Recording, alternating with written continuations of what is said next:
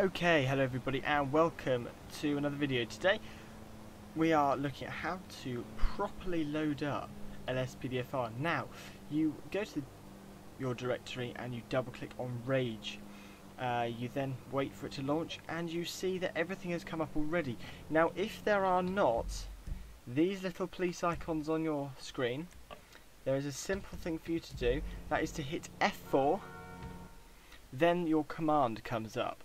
Okay, so this is an updated video, remember. If you just type in reload all plugins and hit enter, then it will load all of the plugins for you, which means that it will load all of um, LSPDFR for you. That's fine. Um, Rage show my location doesn't matter. I know that that doesn't work, so ignore that. Okay, so now the logos will definitely be up for you. Now the simple thing for you to do is to literally drive to your nearest police station. So for me, it's just down the road, so I'll quickly just drive there.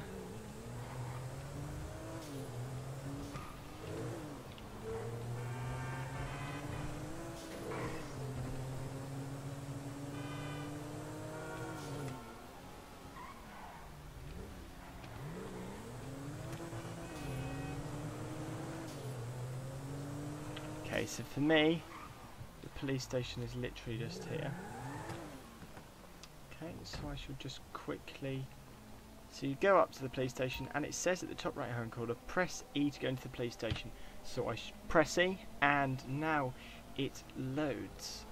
Okay, so it just does this little pan of the particular police station that I am at currently and it will do that, exactly that.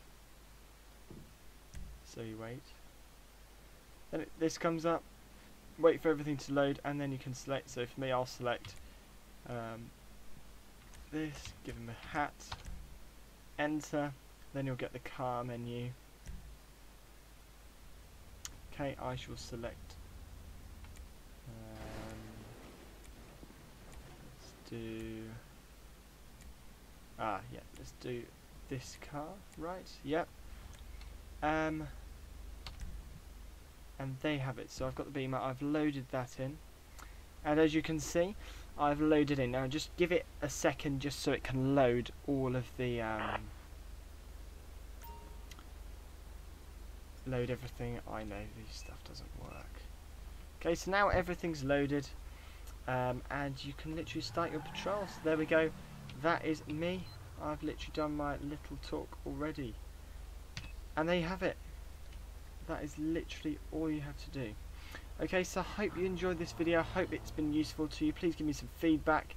And thank you very much. So have a lovely rest of your day. And I hope this works for you. If it doesn't, please let me know uh, in the chat and I'll try and help you out. Cheers, guys. Bye-bye.